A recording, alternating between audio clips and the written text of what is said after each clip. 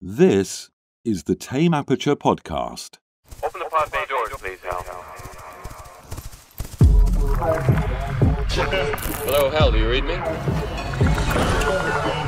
you read me, Hal? Do you read me, Hal? Affirmative, Dave. I read you. I read you. I read you. Open the pod bay doors, Hal. Come on down and jump some of this shit. You'll always have passwords. Sorry, Dave. I'm afraid I can't do that.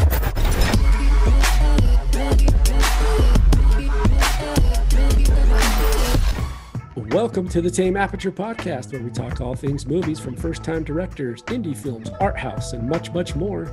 Today on the podcast, we talk the international film Cronos.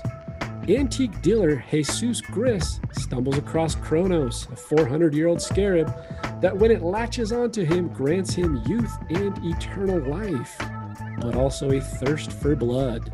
The film was released in 1993 and was written and directed by Guillermo del Toro, making his feature film debut.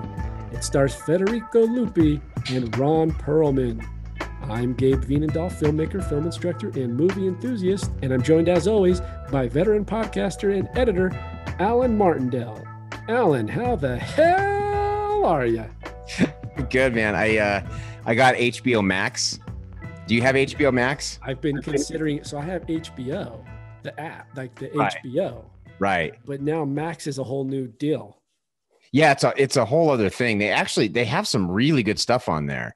And they're going to start premiering films on there. So I got it just um kind of to keep up with the time. And I think actually I think I got it for free with my cable package because I already have it. And if you already have it, you probably get it too. Um but I only do the HBO app, right? Like okay. regular. I don't do the cable package. Gotcha. Gotcha. It's like everyone's divvying up their stuff. It's too much. It's we're we're going to be so fractured with all the streaming services that we're getting to a point now where it's it's going to be pretty soon, if it's not already, more cost effective to just go with cable. Like That's it's crazy. because, and, and I got to say this, I called this like eight, nine years ago. I said, eventually all the different channels will just have their own thing and you can subscribe individually to those channels. And then you say that, and it makes me think that's funny because if it becomes so fragmented and separate, then eventually it'll be easier to go back to a cable package. It's it's crazy. I mean, it, it's good because like with Comcast, I get I get Peacock and I get HBO Max because I, I subscribe to HBO, and so I get I get some stuff with it, which is nice. Um, but the only reason I mention is because is this movie was actually on HBO Max, so there's some good stuff on there. It, it's worth checking out. Um, I'm glad I didn't have to pay for this movie. Uh, it's not it's not like it's a bad film, and, and we'll talk about it obviously, but. Alan, this is going to be the shortest podcast in Tame honest- Aperture history. I was thinking about that. I was watching this movie and I was thinking, I don't really have a whole lot to say about it. Um, I chose it just because uh First time director. first time director. It was it was Del Toro's first film. So uh, I was kind of looking through and just trying to see, you know, what are some some features that we haven't hit. And I, I like Guillermo, Guillermo. de- I can never pronounce the name. I like Del Toro a lot. Um, I am a little embarrassed to say I'm not overly familiar with his filmography, but from what I've seen, I'm I'm more familiar with um, things that he's produced. And I read his uh, his one of his his books, uh, The Strain, that he wrote with Chuck Hogan years and years ago, and I remember liking that a lot. And so, uh, I, I- but uh, film wise, I'm not I'm not super familiar with things he's directed. I've seen Pan's Labyrinth, which I liked a lot, um, and that's about it. I I'm really embarrassed to say I I never saw The Shape of Water, which is is really embarrassing because we're in the same boat because I never I never saw it. I hear it's fantastic. I mean, it won Best Picture, so obviously it's got to be good. But um, never saw it. Is that always true though? Just because it wins Best Picture? No, I didn't like the artist. See, I liked the artist, but I think I liked it for the classical homage to what silent film was, and as a film historian, like a guy who's the buff of history, like I liked it for that. Um, but I could see why you wouldn't like it. It's similar to like I hated La La Land, hated it. Oh, I see, and I never saw La La Land either. So and I can't remember. I think it won Best Picture, but I hated it. Absolutely hated it. And a lot of and a lot of people loved it. And it just it's just like Hollywood just spewing all over itself with See, that's kind of what I felt like for the artist. I mean, there was a good story there, but it just it just felt like too much. Look at how cool this idea is we have. You know, it just Yeah, there's a little bit of that, but I think what what I came across for me was I love the guy, and I forget his name. I love the guy who acted in it. yeah, he So was great. He forgave it for me. Like I was able to follow him and then let go of the pretentiousness in that Yeah. sense. Yeah, yeah. I see what I- you're saying. And I think La La Land. I think wasn't that the one where Warren Beatty announced La La Land and it, they didn't actually win it. I think Moonlight won it. Oh, I think you're right. There was that flub. Yeah, and I don't know why he did that. I Was can't, it Warren Beatty and Annette? No, not Annette Bening. Is uh, can't remember who it was. It was uh oh my gosh, Chinatown, Jack Nicholson. What's her name? I can't remember. I can't Yeah. remember. Now I feel dumb. But anyway, uh, I digress into the yeah, I never saw you think about Del Toro's work and like you're you you you say a lot uh, you said something about a book he had written which didn't cross me. I didn't know that, but he has written a lot of screenplays too. I think he's a hell of a creator and a storyteller. I don't think there's any. So I want to preface going into this movie that I actually, like you, having not admittedly seen all of his work. Um, I love Pan's Labyrinth. Love it. It's. I don't know how you you can watch that and not and not be enamored by it. I It's mean, fantastic. that is the personification of masterful filmmaking. It is a is. great movie. And to me, that embodies kind of everything that I know about Del Toro is that he loves the monsters, but he loves the the humanity behind it and the heart behind it. Right. And that's what to me, that's what was so cool about watching Cronos because you could see, I mean, from his first feature, you can see this is him, man. This is his style. This is everything he loves. There's horror in there, but there's a lot of heart. Um, and that's kind of that's his signature. And I remember the first time I saw Pan, or actually not the first time, I've only seen it one time, but when I saw it, um, I remember thinking, I thought it was going to be a horror movie. So I went in, and you know, me being the, the horror geek I am, I went in thinking it was that. I was I about halfway through the movie, I was like, all right, this isn't a horror movie, but I'm starting to fall in love with this film. You know, it's tragic and, and heartfelt and sad and amazing. And some the monsters in that movie are fantastic. The guy with the the eyes in his hands still gives me nightmares. Fantastic. yeah, his creature creation is unbelievable. It really I is. mean, it really is. And even look, even in this film, which which has not a lot going for it, Very true. um, is uh, even even kind of at a at an early stage in in a new filmmaker. I mean, you see that you see the ability to kind of create uh, special effects and kind of like craft craft like go about making and putting the movie together. So I didn't feel as though uh, he's it's a it's a bad movie, but I also didn't think it was a good movie. It's one of those movies where I just sat neutral the whole time. I wasn't even sure where to go. It, it, I don't know if I've ever watched a film that made me feel more neutral ever in my entire life than this one, which is, it, it, I just didn't feel anything really. it's here's here's how I could sum it up, and then we'll start getting into it more. But I looked at a lot of the either movie poster art, like the one sheet art, or the concept art, and it's awesome. Right. Like even that piece of art you have behind you on your TV screen with the Right. yeah, with this it, it's cool and like inside the cre like it's all very cool, but the movie itself um it leaves it leaves a lot to be desired in this in a sense. Um and he tries to tie in some emotionality with the young girl and the, the grandfather but I was just confused uh, in the sense, not in the storyline, but like, what are we trying? It's the first. It's what's funny is we talk about movies, and each each week we try to give our message, our interpretation of what the movie is. I don't have one. Same. I, I, I don't. I think it is.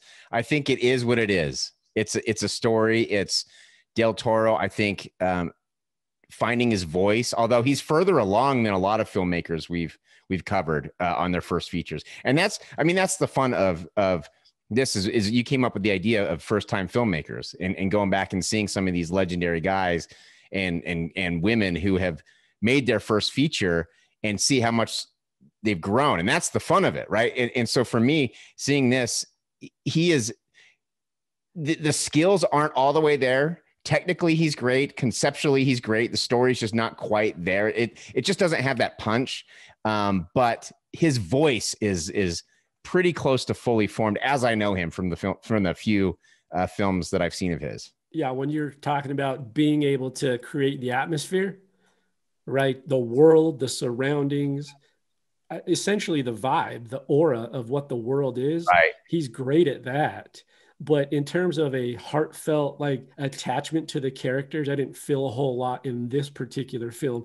And it actually reminds me of the other film that I've seen of his, um, aside from like the he did Hellboy, and then of course we talked Pan's Labyrinth. He did Pacific Rim, which I actually never saw either. I didn't Uh, either. I know it got a lot of either hate or love on either side.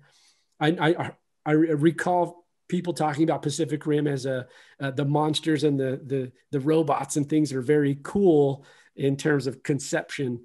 Uh, he also wrote the Hobbit series, right? That and so like I think he's a he actually did one that um, that I watch with my kids called Trollhunters on Netflix, which is an animated series and it's awesome like as an animated series it's so awesome it's one that both adults and kids can enjoy simultaneously and we loved it me and my kids so he's this great builder of worlds.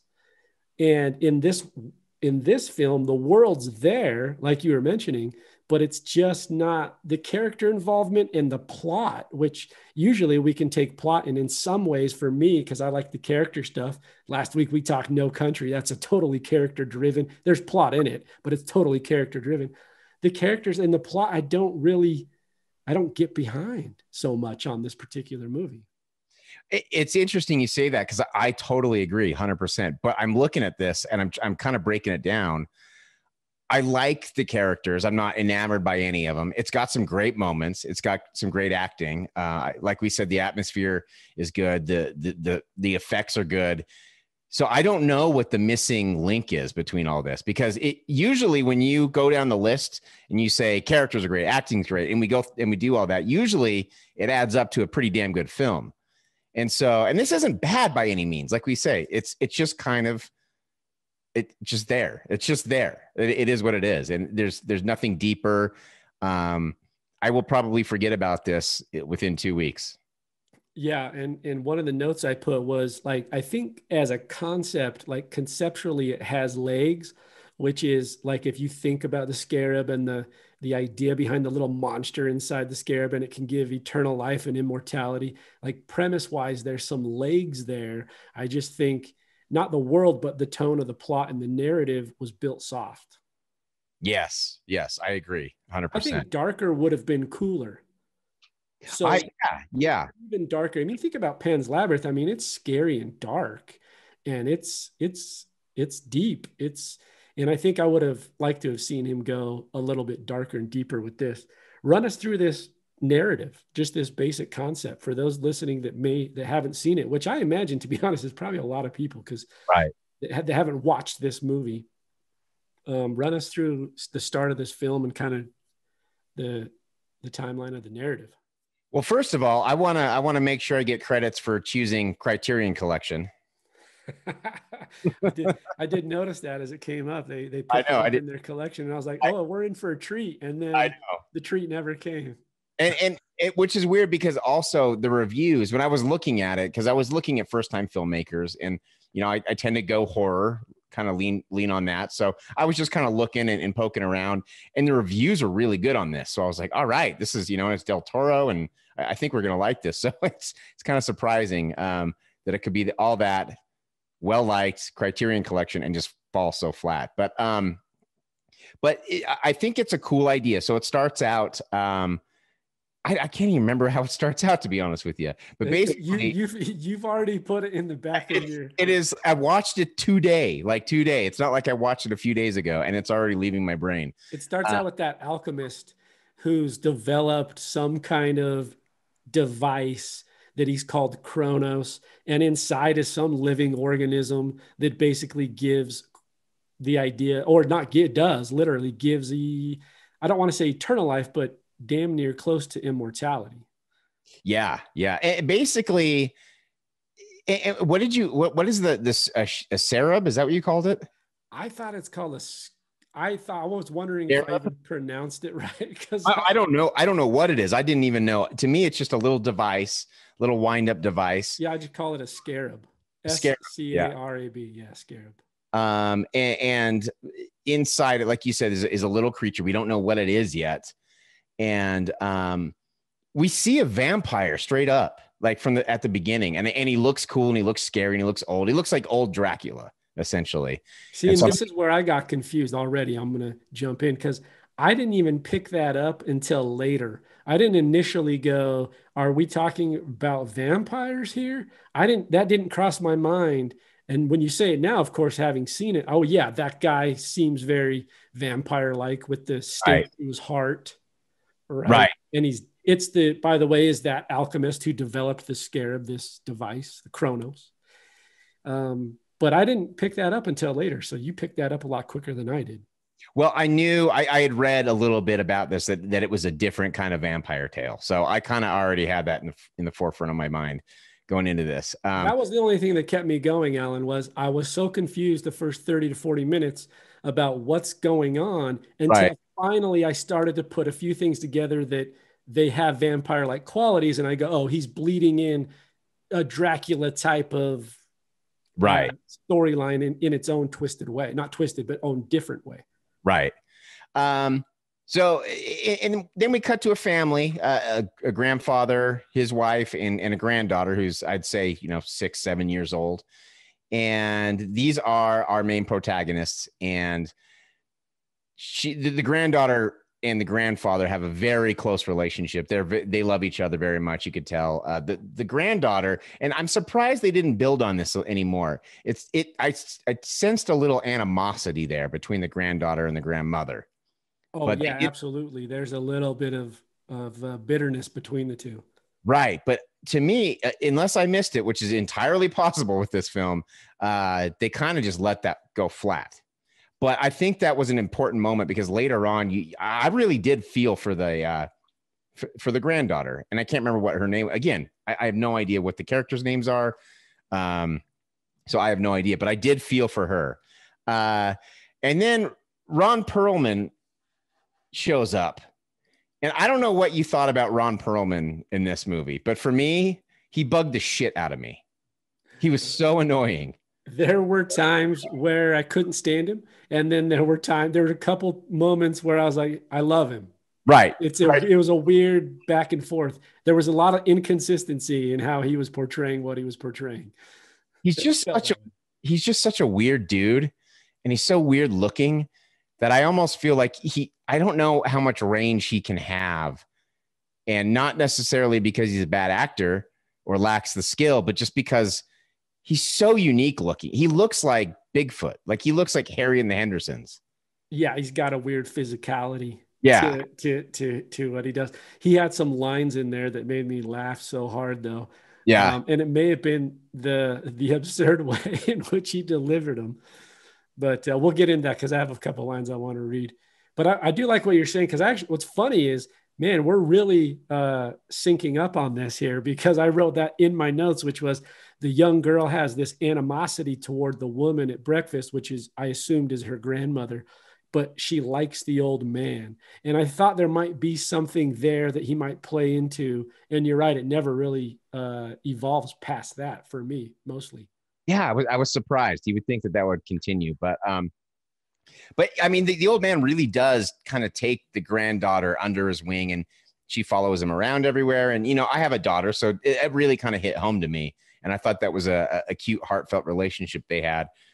And really the driving force between the for the entire film like as far as i'm concerned if you don't have that this movie there's no point in watching it whatsoever. Yeah, that's the one thing I would agree with is like, look, if we're not gonna, I mean, and even it's, I think it's still pretty soft. sure. Oh absolutely. The build of that, it, it gets lost halfway through where the girl just kind of doesn't come back into the movie for a period of time while Right. he's out doing whatever he's doing. And then she comes, of course, back in at the end. But you're right. If that gets, if that gets lost in there, then why did we make that? Why did we make this movie? exactly. Um, uh, bas- so the, the old man he he owns an antique shop, and uh, he has I don't know how he came into the possession of it, but he has a a, a statue that is that Ron Perlman and Ron Perlman's uncle are they're, they're searching out. And they find when, when they when when the old man discovers the statue in his shop he and the granddaughter are kind of poking around with it and bugs start coming out of the eye. And then uh, i, I kind of like this this shot when the, the little girl's just smashing those bugs with the book. I thought that was funny because she knew what to do. She's like, get rid of those things. Exactly. The grandfather jumped up, but she took care of it. Um, but then they take it apart and they find that little the little scarab, and it's it is like uh almost like a cockroach shell, and it, it's made out of metal, and it's almost like a wind up toy.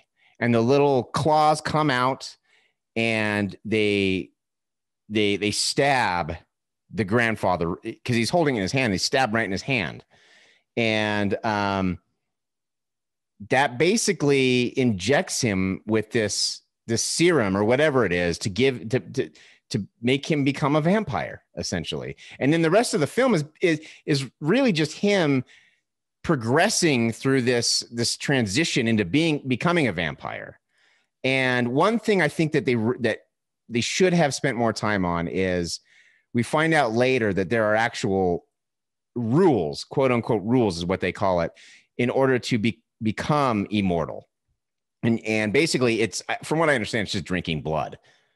Uh, but they don't really di- delve into that, and they don't really play up the importance of that because there is. I, I think if they if they play that up a little bit more, the uh, the antagonistic relationship between the old man and Ron Perlman and Ron Perlman's uncle towards the end, I think would be heightened. I think it'd be we'd have a little bit more driving force and I think we we def I think we'd want to know more.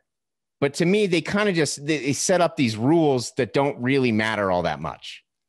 Yeah, they're irrelevant. I mean, they don't Yeah. really have a. You're right because the ending to me and and is so blah.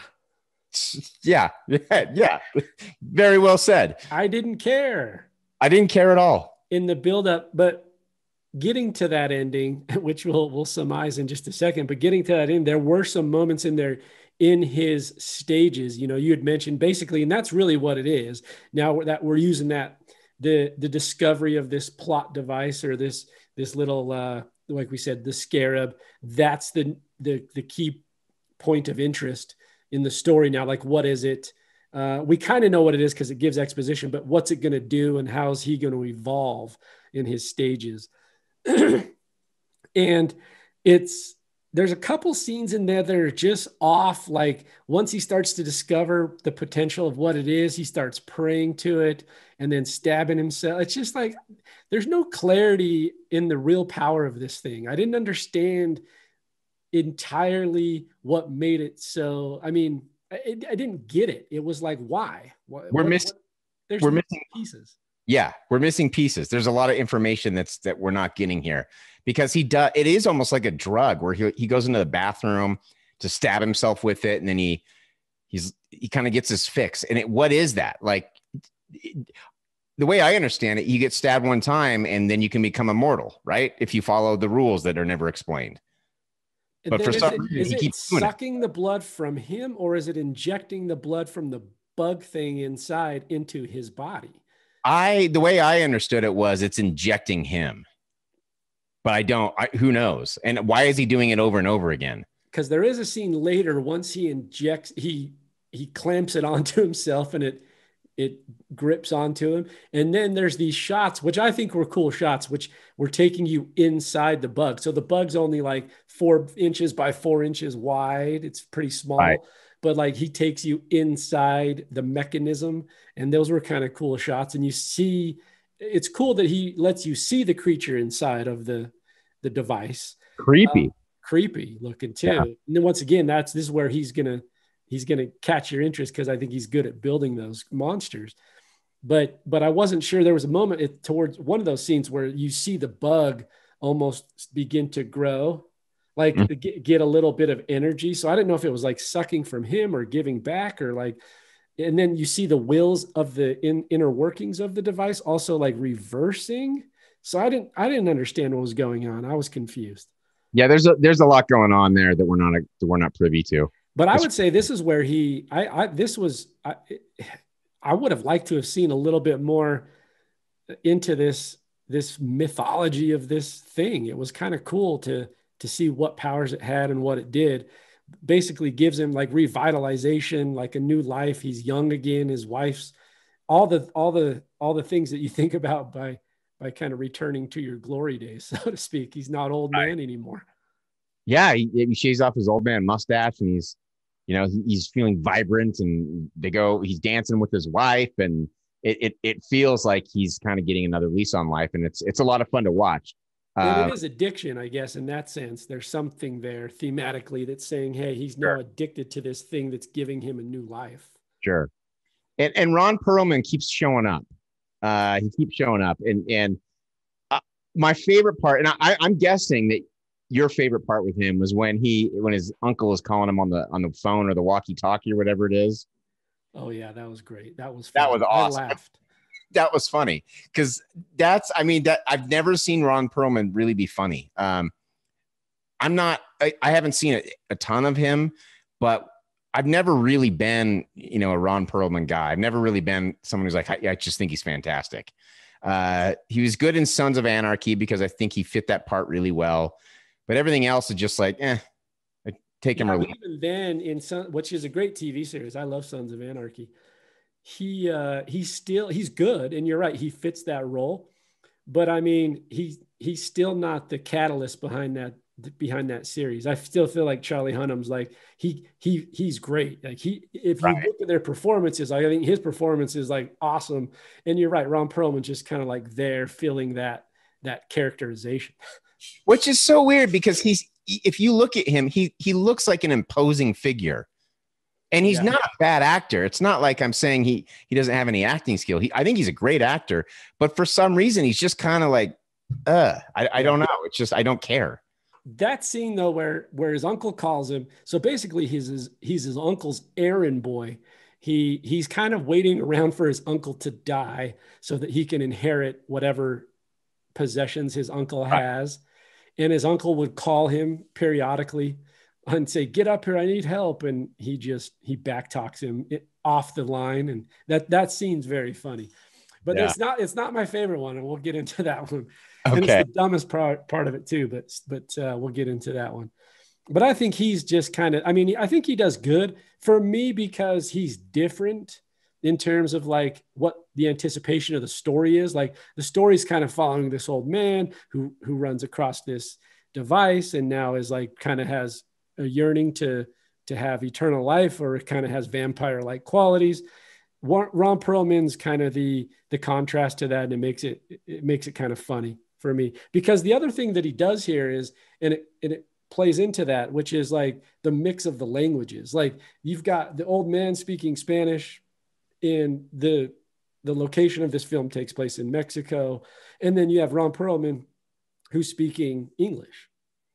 Yeah that was interesting but he's he does speak spanish at some points but not really but i, I did think it was interesting that they were kind of going back and forth I think that's a hard one to pull off. I will give him credit for that. I think that yeah. pulling off multiple languages in a film, uh, I think it works. He, he, made, he made it work somehow. I'm not sure what it was, but uh, he made it work.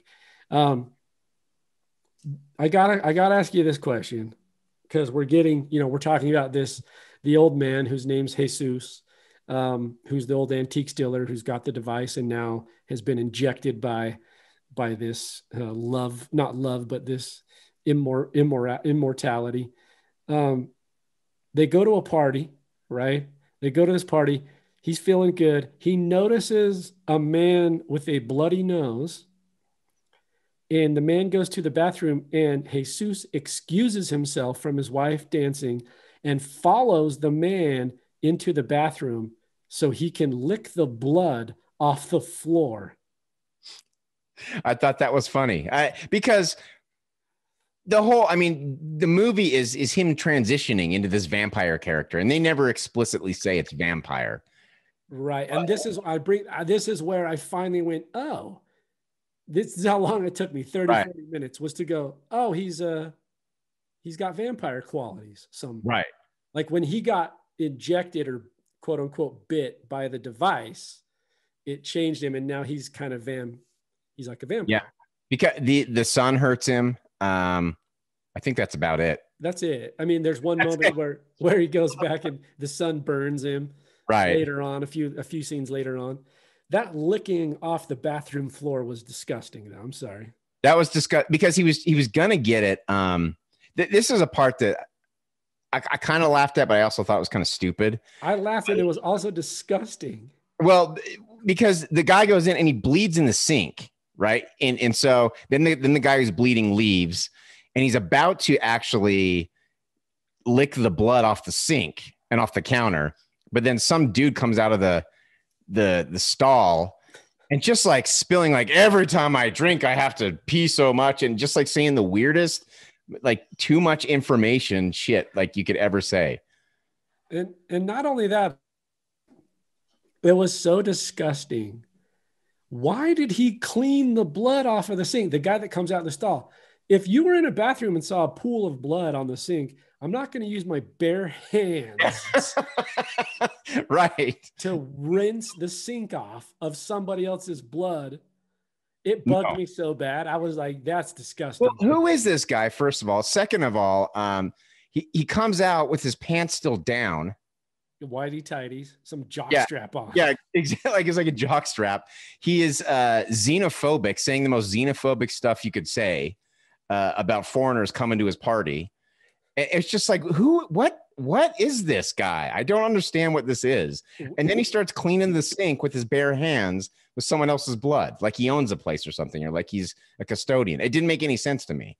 we got a health and safety issue with Yeah, there- someone's blood. there's a lot going wrong. But I, I did. I mean, if you're gonna do that, at least it was kind of humorous. But then there is a little bit of blood on the floor after this guy leaves, and so uh, Jesus gets on the ground and licks it. And I like the shot because it was actually all in one shot.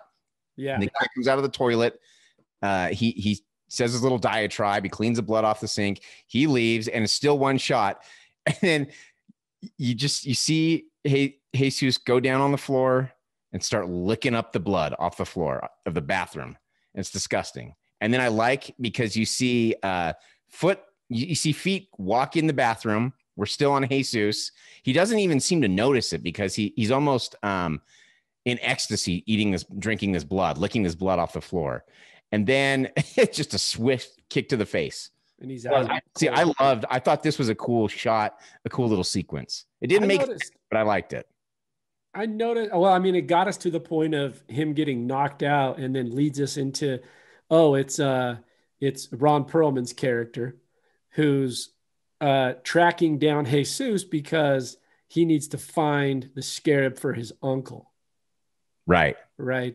But you're right. That shot's great, which is and it, what what Del Toro does good, and I notice that in a couple pieces throughout this film, is that camera movement's great. So you know, first time filmmaker, like the ability to kind of walk through a scene in your head and then understand how you're going to dynamically move the camera. Like I give it, there's a couple shots in there. That's one of them.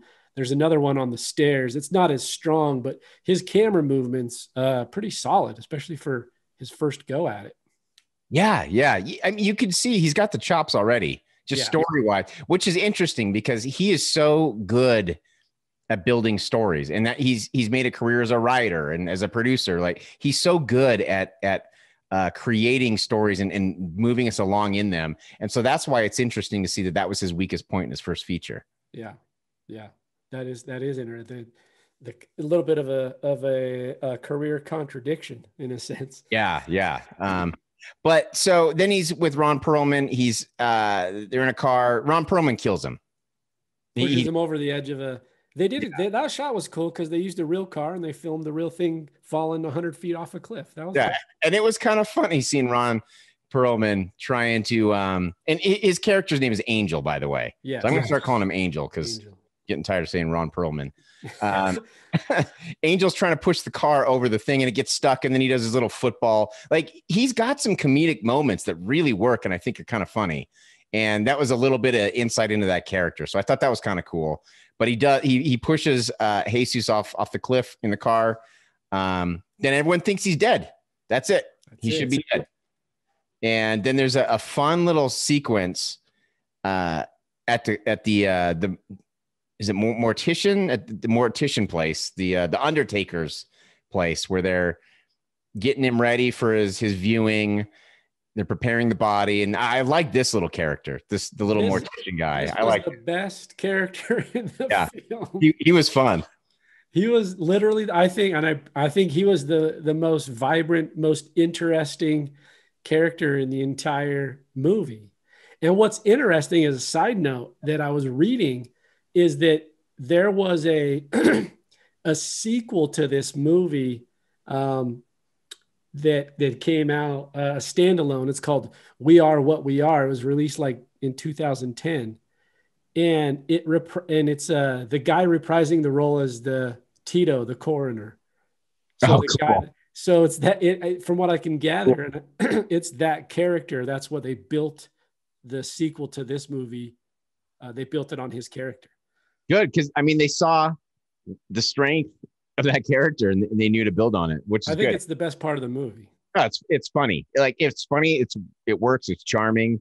It's uh even the way that the body disappears, I think, is done really well, and it's interesting, and um, it's just it's a cool sequence. I really enjoyed it. he does try to tie in right as uh, Jesus is is already fallen off the cliff, and it appears like his last words, his last thoughts, kind of go to his granddaughter. Like he he gets the idea. So they do try to tie that back in with that relationship because then they cut to her almost like she's waking up at home and feeling the impact, even though she's miles and miles apart. Mm-hmm. So Yeah. they do try to tie it in a little bit again there. And I, I liked the little girl character. I thought she was good. I don't. Does she speak a word throughout the whole film? I don't think she even speaks. She does, and, and it's very, very limited. But I recall her saying Okay. a, a line of dialogue or two. Okay. Okay. Which is is good. I mean, it's fantastic. I think the direction, being able to direct kids is is a tough job, and especially on your on your first feature, it's got to be really tough. And I think I think he did a good job with her. He used her. He didn't use her too much. He didn't rely on her too much. I think that's that could have been a problem. But he knew that was the emotional heart of the movie, and I think uh, he used it effectively. I would have liked to seen that, like you said, I would have liked to seen that relationship hammered home a little bit more. But Yeah, and and here's the thing: if if you're bored in this first 45 minutes, at least Tito the mortician will will get you through the next 10 minutes because he's fun to watch, and that those scenes are they're funny. I like them a lot. and then you only got a half hour left. And then you got yeah, and then you're you're you got 25 minutes and you're good to go. Yeah. You'll make it through everybody, you'll power through. But you might ask yourself 10 minutes later, what's the end game here? Yeah, exactly. Uh, it honestly, I thought the first 45, other than Tito, the mortician, I thought that was uh, that captured my attention the most. Now, that's not to say that it captured my attention, but that's where I was the most engaged. I was like the finale and the third act. I was checked out, man. I, I, I, I was doing laundry. I had it on my phone at that point. I was not paying attention really. Well, we got to remember one thing in terms of story, which is uh, the the uh, Angel's uncle, and so there is some intermittent things as you get towards the end where there's a, a controversy between uh, uh, Jesus and Angel's uncle, uh, the, the two old guys basically. Um, and it just didn't tie together very well for me though. Like I just didn't care about Angel's uncle too much. Like it just didn't. What was he there for? I mean, he was trying to show what the possibilities were of the scarab, but it didn't translate well. No, the, there's just something missing. It just seems like we're missing something. It feels like it feels like a, a big chunk of the movie got cut out. And it's not that you're confused. It's just like it feels like there should be more driving home the plot. And there's just not, it's just not there. It's just not connecting. So Yeah, it slows. It slows a lot. It's very, Yeah. it, especially, and it's funny that you say that because I think that's partly true. You would anticipate as you get towards the climax and towards the end, as you come over that that into that third act, a lot of times you get more intrigued or curious about what's happening in the story, or even the excitement level starts to grow. and it kind of feels like it's the opposite here. Just boring, man. That's I mean, it felt like a TV show climax, like a, a, a police procedural climax where you already know what the, the outcome is going to be. You don't really care. Uh disposable characters. It didn't it just I didn't care. It's funny you say that because I wrote here in some of my ideas, which is like even though and it does have that kind of made for TV vibe. Yeah, it does. It really does. And what's also interesting to me, and I it has an 80s horror vibe to it too, but not in the traditional like slasher horror sense. But if you think about like traditional devices and like tropes where they find an artifact and then characters change from a normal world to a, a, a subverted world, a different world, you know, and then it kind of creeps along and tries to build mystery. It does it very slowly, but there's some and then it's got then he's sprinkled into me these homage of like old films you know talk about film history. And like there's homage to like the old old horror films like german expressionism in the 20s where you have like nosferatu and like yeah. uh, he's got some sprinkled in homage. So you know as a filmmaker he appreciates the past. Yeah. And it, and there's some cool stuff too. Like there's that's the thing is is it's not story wise, it drags on, but there's some cool stuff in here. Like with, with the skin peeling, the, the skin's peeling off, and I thought that was cool. And like you said, the interior shots of the of the scarab and, and the close-ups of the insect in there and there's some really cool stuff even even tito the mortician there's some butt puckering shots in there like when he's about to to stick the needle through his lip like yeah. it's like there's some really cool stuff in there and and, and so i, I don't want to I don't want to act like this movie is completely pointless. There's some good things, but it's just not. It, don't. I mean, if you have HBO Max, just get it there. Is my point because it, it's just there's nothing that you're gonna walk away and be like that was amazing. Don't other than the rental. Right. Exactly. Uh, other than to see the evolution of of Guillermo Guillermo del Toro. I think I got it right. You did. You nailed it. I nailed it. But anyway, cl- climax. I mean, let's just let's just move ahead to the climax. Basically, it always ends up Damn on it, a, Alan, get us through this podcast. I know. So I like I'm I'm running out of things to say. Uh it always ends up on a roof. And that's that's where they're at. Uh I can't even remember what happened to the uncle. He died. I don't know. Something happened to he him. He gets stabbed in the heart. He gets stabbed in the heart. That's right. Um, because he's essentially one of the he's also been infected by the device or the Cronos and so he's essentially kind of a vampire too, just like Jesus. Right. And then he ends up getting stabbed, or yeah, in in that that ends his life. And there is a, an important piece of information that he delivers, and that's to say that if you if your heart gets stabbed or punctured, that's how you can die. That's the only way you can die. Which is got vampire roots in terms of through exactly. the heart with a stake. Yeah. Exactly. So um so and then basically, oh, can I say one thing? By the way, when when Angel's uncle, the old, the other old vampire like guy, dies and and he's been stabbed, then Jesus like starts eating his or drinking his blood, like sucking his neck, and like right. It's all kind of erotic and weird. And then that's cool. Again, that's cool. I like it. It works for yes, those moments right. are fun. I agree. Uh, because the granddaughter at this point, we got to remember the granddaughter's there too. So right after this guy dies and her grandfather starts like eating and sucking the blood of this other guy, her granddaughter, his granddaughter's there watching him, and she's like oh, trying to trying to piece it all together. And then they have a moment where he looks at her because now he's got the, the, the taste for blood, and he looks at her, and you're thinking, well, they want you to think, oh, is he is he going to kill her? And obviously, he's not going to. That was never even a thought that crossed my mind. But I, I think the idea is they do. You're right. They do show him in some way or another resisting the urge to right to feast upon the person he loves most. And I think that's when he, out of frustration, uh, smashes the scarab. He smashes the device. Yeah, he gets. Um, I was a, a, a way I think they could have ended this on a better note, not a better note, not a happier note, but uh, it would have been more interesting is if he would have turned the granddaughter and then they could have gone off and been little vampires together and had that relationship forever. That would have been a cooler ending. Very uh very Kirsten Dunst, Brad Pitt interview with a vampire. Like Exactly. Exactly. that would have been a lot more fun. But a side note, I love that movie, so I can I agree yeah, with it's you. good. It's good. Otherwise, that would be a better direction to go. I think so. Because then it then the climax is just it's just dragged out. It's just Well, the, here's two funny parts at the end here.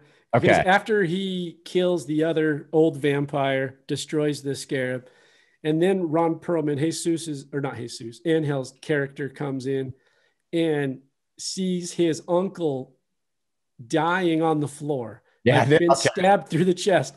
And this this was one funny part that made me laugh, which is he's like, finally, his his uncle's like, hey, save me, save me, and and and and Angel's like, no, and he basically puts his boot on his neck and cracks his neck and kills him. To ends it out, and he's like, finally, I get everything, and he's talking about all the possible uh, inheritance that he might get, which I thought was funny. I thought it was funny because there's no subtlety. It's just it's all mine. It's all mine. Fine. It's just like oh the my god. acting's like completely over the top and makes Right, not, right. not a lot of sense and it's Right. not done he is a good actor but in that scene it seems off Right. But then here's the other part to that the follow-up where uh jesus the grandpa cracks him over the face with a like a cane or a, a rod or something and breaks his nose and this line because he's already broke this is the second time he's broke his nose in this movie Ron Perlman's character Angel's bro- uh, been hit in the nose twice. Once by his uncle with that same Oh. cane, I believe, and then once by Jesus using his uncle's cane. And when he just and it's when he yells out, "Fuck, not my nose again!" Well, when he it- says that, I laughed so hard. That I laughed. I was like, "Oh man, this is." It was campy. it was so campy. But do you remember at the beginning of the movie, uh, when he first meets uh, uh, Jesus and the granddaughter? eh, He's showing he's showing the little the what I don't even know what you call it, like the nose samples because he wants to get a new nose, right? So he Right. showing like so that's I thought that was a cool little callback there. That- Um, that, makes it funnier now that you say that. I didn't think about that originally. I just knew that he broke his nose twice. And I Right. thought it was funny that he had he yelled that that line to me. I don't know. It didn't even seem like it fit, and we'll get into that idea because that's one of my roundups on this movie. Was like things don't fit, and I'll I'll explain more. But Yeah. basically, then there's a there's a showdown, right? Uh, at the end, they fight each other, and then Jesus grabs uh, Angel and dive bombs off the building with him to to kill him.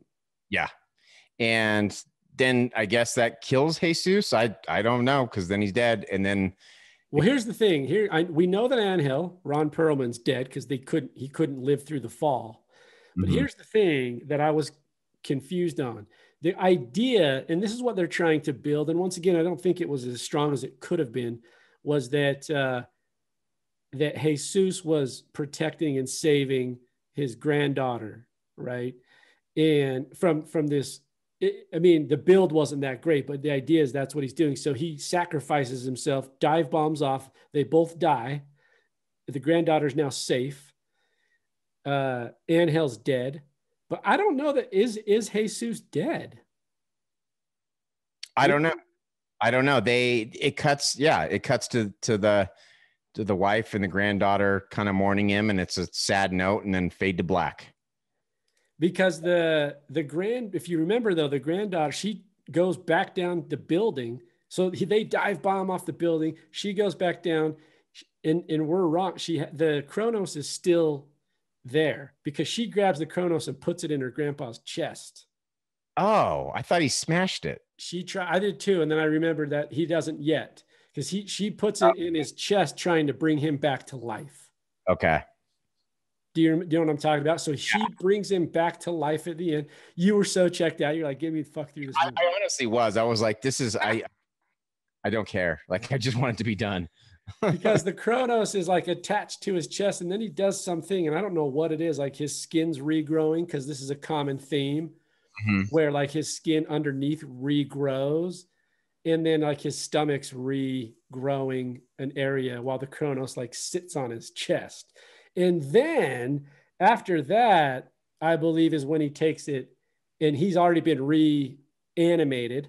Mhm. from the Cronos, and his granddaughter. This is where also he gets an urge to feast on her. That's right. Okay. And then he takes the Cronos off his chest and then smashes it with a rock. That's right. Yeah. That that that makes sense. Um. So when does he die? I don't. I don't know uh, why. How did he end up dead? It's funny because I put that in my notes, which is like I thought he died too, but what it ends up showing, if you remember, is his. If the beginning of the movie, when we saw the alchemist with the stake through his heart, his skin was all marbled white, That's right. like like you mentioned, like an old vampire or something. Right. And then at the end of this, Jesus now is lying in the bed and his skin's all like, for lack of a better way to describe it, like petrified white. Right. So I'm assuming he's now dead because the his wife and his granddaughter are now over his body, and I'm guessing he's dead. Although, who knows entirely because it kind of just ends right there. Yeah. I don't care. I, I couldn't care less. And the last five minutes, you're like, "Get me the hell out of here." Well, and the good news is uh, the runtime is a little deceiving because there are like five to six minutes of credits at the end of this thing. Yeah, you're at about a, an hour twenty five minutes. So no worries, man. You just That- get to and you're that- golden. Make it to Tito and you're golden. Um, it's but again, it's not a bad movie. I mean, trying to come up with my my score for this was was kind of tough because I don't want to score too low because that that get that implies that I didn't like it, that it, that it's that's bad, that it's not Well, I was going to ask you two questions before we get into that because I was going to ask you, which I think we've already discovered. What were you thinking when you finished the film? I was thinking finally. I mean, what? I was thinking, okay, good, it's done. Not finally, but okay, good, it's done. Um, based from a filmmaker's perspective and from a storyteller, did any of these characters make you angry? And I, by, by that, I mean, did they bore you? Did they excite you? Did you not care? uh, Ron Perlman kind of he rubbed me the wrong way in this. Again, some funny moments by him. Some Was, inten- was that the character itself or just his portrayal of that character uh, I think I think it's just or, or both? I think it's just him. Uh, because I think the funny moments, like you said, I'm not sure those were intentionally meant to be funny in that way. The the the, the two moments you pointed out, but the the the one where he's sitting on the bed talking to his uncle through the the walkie-talkie or whatever, that I thought was I I genuinely laughed about that on that one. But other than that, I don't know. Ron Perlman, it just again, it's maybe it's just him, maybe it's the character, I don't know, but th- he just really rubbed me the wrong way. Okay. And then last question before we get into Google reviews and summation summaries uh, for for ratings. I mean, and this is an interesting one because I don't I think we've answered it, but I had it in there anyway. What comment is the author trying to make about the culture uh, of or the theme of this story? Like, what are they trying to say in this movie? What's the thematic message? I just think Del Toro wanted to make a movie and he wanted to put some monsters in it. I think that's the extent of it, honestly. Okay. All right, Um, I can go with it. I, my, my main question for you, I had a couple, but we kind of we hit them as we went through this. My main question for you, we all know, anyone who's listened to this show knows that that you have an affinity and a respect for the Criterion Collection, and you have uh, you picked quite a few movies that are in the Criterion Collection. How has your respect for that collection changed after watching this film and knowing it is a part? it? it hasn't changed. And the reason it hasn't changed is because, well, first off, I'll say this movie doesn't belong there. Totally agree. If you look at what that that collection is, now here's why I'm gonna I'm gonna sound bad when I say this, but Okay. here's why it's there, because it's an international film, right? So it's from a it's from an independent film from Mexico and done by a and and it's a legacy credit to Del Toro. So I don't think originally this is Criterion. I think what happens is Del Toro comes out and does some killer films and stories afterwards. And then as a result of his legacy that he's built, they put in Cronos in the Criterion collection because many of the Criterion collection are not all of them, but many of them are from first time filmmakers. Uh, or their first feature films. So that's what it comes down to. And so it's kind of a grandfathered in based on his portfolio. So why not? And, and maybe it is on on there. I don't know, but why not Pan's Labyrinth? I gotta read what the criteria is for the Criterion collection because there is probably something there, and I can't. I think we've read it once, but I can't remember what it is. Yeah. Um, yeah, I don't know. I mean, that's obviously a better film, right? It is is it a studio thing? Does it have to be? Do they have to own the rights to it or something? Uh, that might One be. One thing I did notice, it could be that, but I also noticed that at the beginning of this film, when they run credits, it's got the I, I want to say University of Guadalajara, and so there there there's a grant there from a film school of sorts, uh, attached with probably some grants from the government. So um, it's it could have to do with that in terms of where money came from or who owns the the copyright. Like if an educational institute has say in the film or owns pieces of the movie, do you know what I mean? Maybe that's yeah. something to do with it too. I'm not entirely sure, but uh, but I don't think it belongs there. I'll, I'll say that. um, so I, I'm on the Criterion website. Give it to me. And there is, I haven't read it, so I don't know how okay. this is going to be, but uh, in their frequently asked questions, how do you decide which films receive the criterion treatment? We aim to reflect the breadth of, film, of filmed expression. We try not to be restrictive or snobby about what kinds of films are appropriate. An, an auteur classic, a Hollywood blockbuster, and an independent B horror film all have to be taken on their own terms. All we ask is that each film in the collection be an exemplary film of its kind. Of course, we can't just pick movies and put them out. The process of getting right the rights to the to the release of uh, the process of getting the rights to release a film can take years. Even if we want a film, we can't work on it unless the film's owner grants us the rights to do so. So that might be, you might be right. Maybe they couldn't get the rights to Pan's Labyrinth or, or whatever.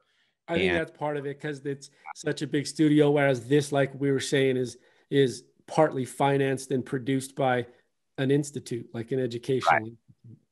That makes sense there's not a whole lot in terms of uh, reviews for this film. I'm not um, surprised. Matter of fact, we've just run across the first time ever. If you put on Google and you uh, put Cronos in, and then you look on the right hand of the, the search engine, you're going to notice something I've never seen before. It says, Be the first to oh write God. a review. Well, that might be a challenge. They might be challenging you. And uh, you click on audience's review, a big donut. There is no reviews on this film. How disappointing. Should I write a review right now? Yeah, but it's got to be in the style of, of our favorite ones. Well, maybe I won't do it live then, because then okay, it'll take yeah. us to take us a set. Unless you could come up with a couple sentences, I will write a review live under my Google name. Um, yeah, I can't. I mean, it, would be like simultaneously. What's funny is I don't want to shit on it too much. Like, yeah, it, yeah. it's the mid. If it was a, if it was um, either something like uh, uh, the Loveless, then I might shit on it. Yeah, Loveless deserves it, but that, it's it's not in that category. Or or even worse, your favorite. Who's that knocking at my door? Always comes back to that one because it's so bad. Uh, but the Loveless, like we, we talked about how I'm going to forget about this this movie in two weeks. I don't remember anything about the Loveless other than I hated it. Yeah, it's it's not a memorable one, and this falls in line with that. So no reviews to read this time, but what I do want to say, I'll I'll actually go first on my ratings, and then I'll let you kind of wrap it up. Cool. So, a couple thoughts on my end, which is we did a review at the beginning of this, about this time last year, on a film called Murder Party. And that ran about uh, 63 minutes, that podcast. We went over. And this movie to me falls in line with Murder Party. And by that, I mean, uh, it's just kind of there. Uh, there's, it's, it's aware, like, it's aware of what it is. I think Murder Party actually, as a comedy horror, is more aware of what it is and it's livelier and funnier because it's a comedy, of course, than this film.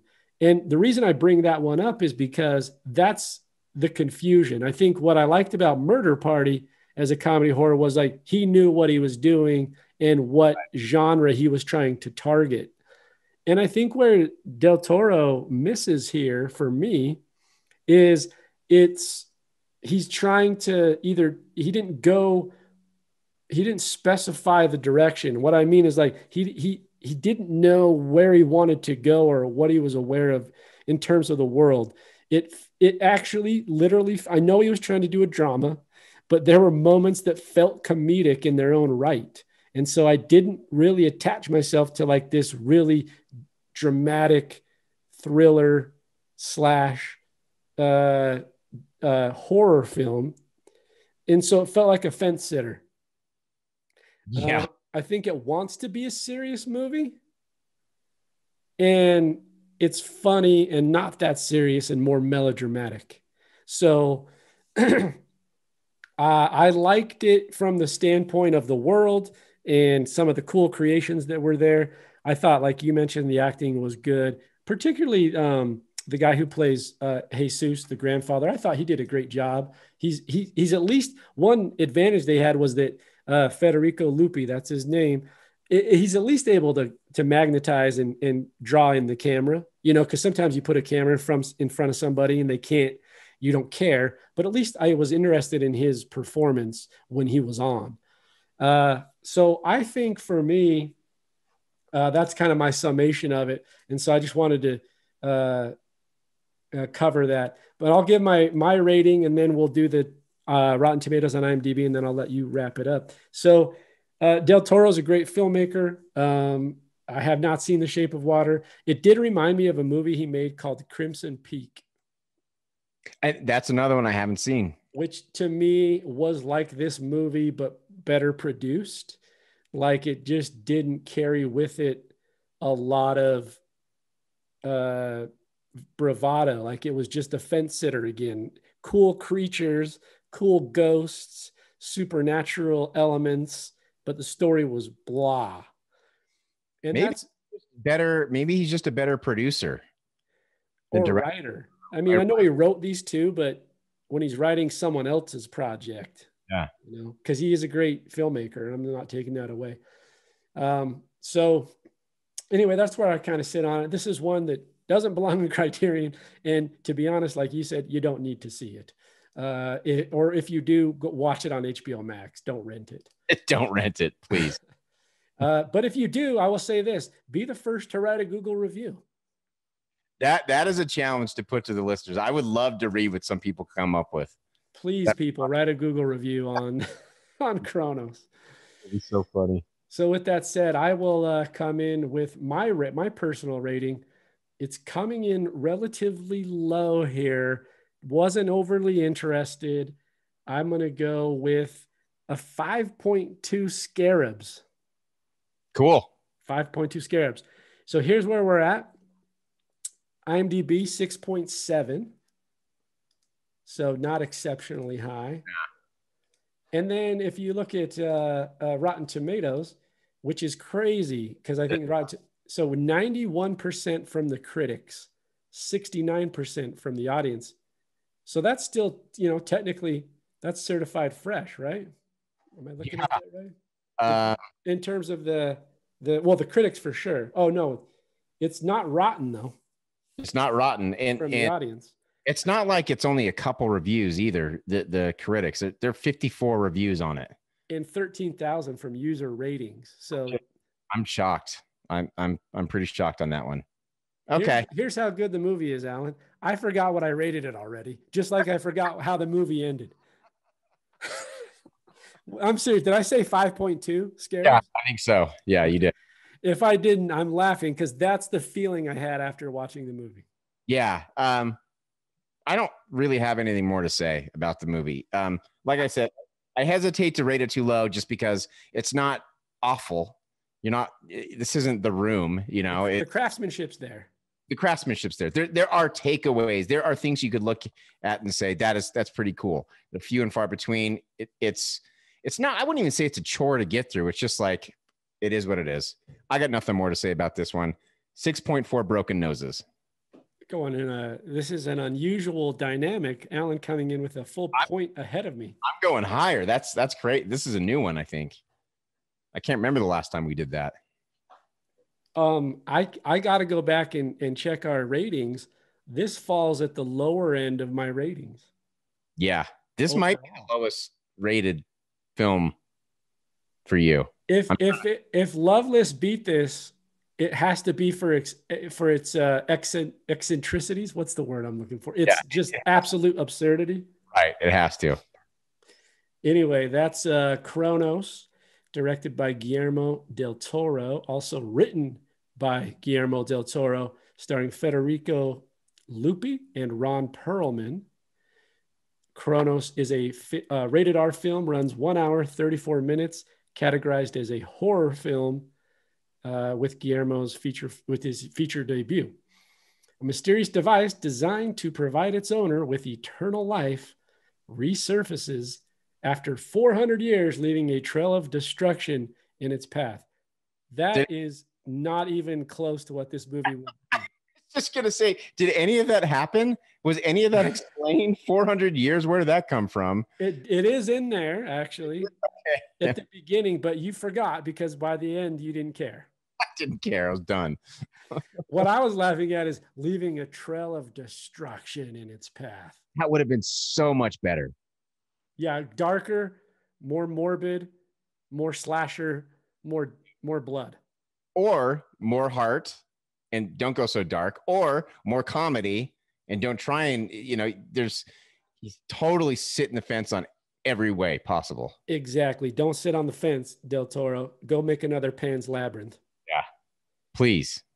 This is Gabe and Alan with the Tame Aperture podcast. Go check us out at tameaperture.com for previous episodes and for suggestions on future episodes. Until next time, everybody, signing out. The Tame Aperture podcast is produced by Dutch Angle Pictures in association with Studio B Productions. Listen, watch, and subscribe on Apple Podcasts, Google Play, Spotify, and YouTube.